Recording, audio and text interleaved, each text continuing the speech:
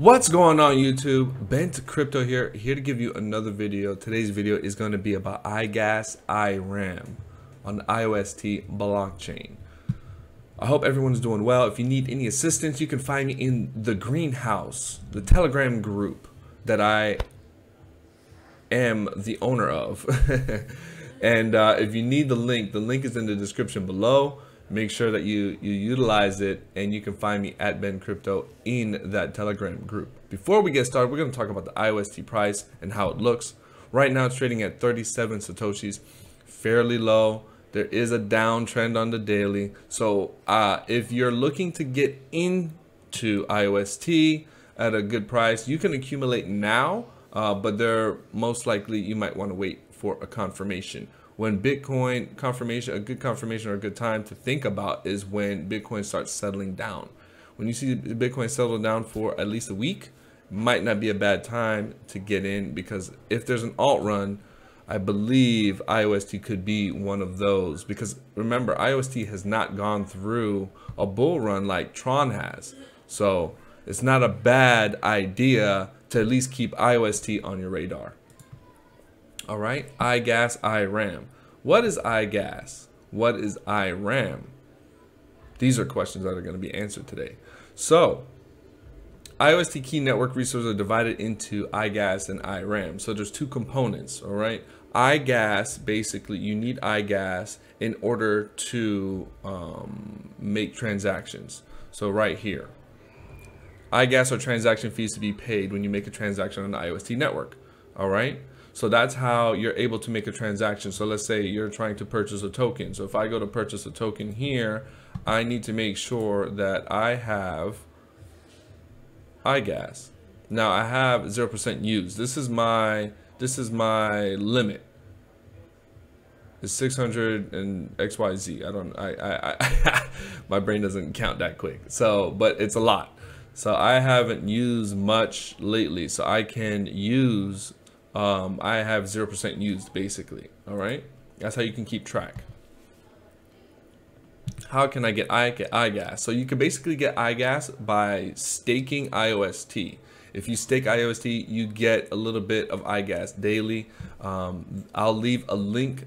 I'll leave this article link in the description so you can do further research, but I'm just going over the basics. So all you have to do is basically stake iGas. So what you'll do is when you go to iGas, you're going to pledge what you want to do is you want to pledge a certain amount. Um, I'm going to show you how to do uh, 40. You can also you can also pledge iGas or you could pledge IOST or stake I, stake IOST to another account as well. So if your other account doesn't have any IOST or an account doesn't have much IOST, so what I can do is I can always pledge it for another account. I'm not going to do that today. Going to keep it simple. I'm going to pledge uh, 40. So this is basically the iGas usage, transaction ID. Now, okay, and now there it goes. As you can see, my iGas increased, uh, my usage increased, my balance went down to 209.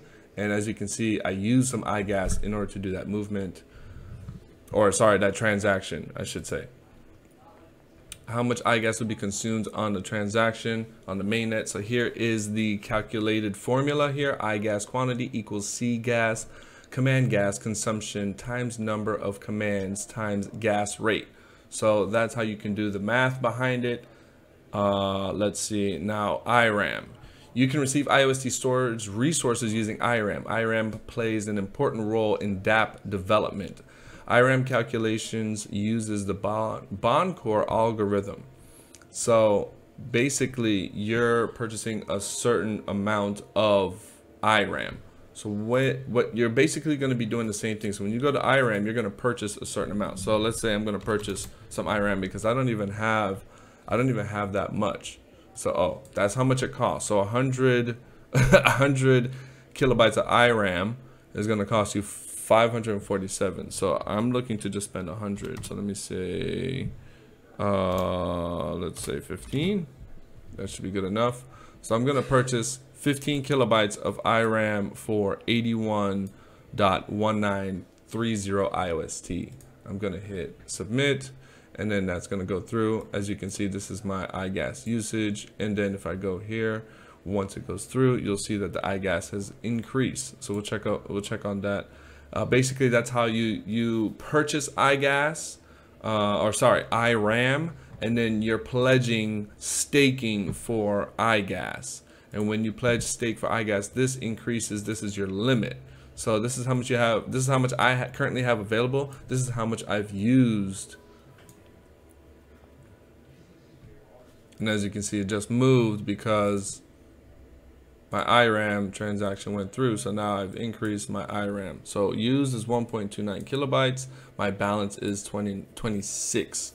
And I believe there is a total of 128 gigabytes. I believe that's gigabytes. So if there's any questions, if there's anything that you need, please do your research on this article. Great article.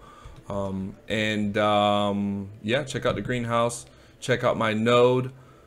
If you have IOST laying around or you're feeling generous, just vote for me. One thing I did want to show you guys, I bought OTBC like I said I was going to. 429, I bought about 2900 and it filled at 0.9. I'm already 2x. I can already 2x. And I'm checking the supply this can easily go up. So keep your eyes peeled. Bent Crypto on the IOST side of things. Out.